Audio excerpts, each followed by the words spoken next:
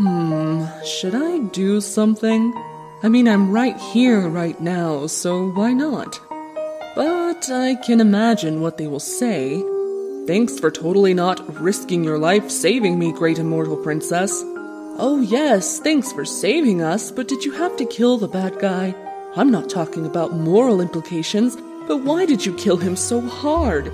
There's pieces everywhere.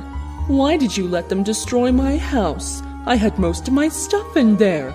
You could have stopped this, but thanks for saving me anyway. You should have let the true heroes handle that. True heroes like the police or doctors or teachers. Think of the children. Now just call Twilight. You don't live to be as old as I am without learning a few tricks along the way. Do you think Twilight Sparkle was my first prized pupil who would save the day? Please. I've had so many over the years I can barely remember their names.